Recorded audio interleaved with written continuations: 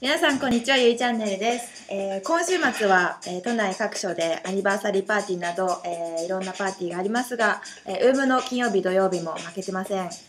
まずは金曜日です。シルコロッコです、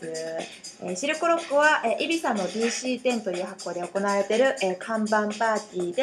えー今回は、えーゲストとして、えータニア・ボルケーノとウィリー・グラフそしてシルコロッコ東京のレジデントである、えーサトシ大月さん出演します。えー続いて土曜日です。じゃん。ウィーケンド・ウォリアーです。えーゲストに、えーリー・ジーバレッジを、えー呼んでいます。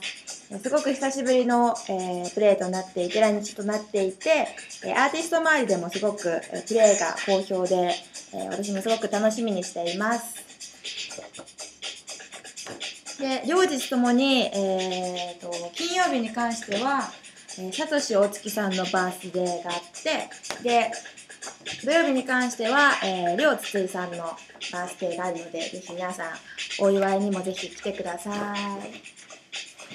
それでは、何かありますか？大丈夫です。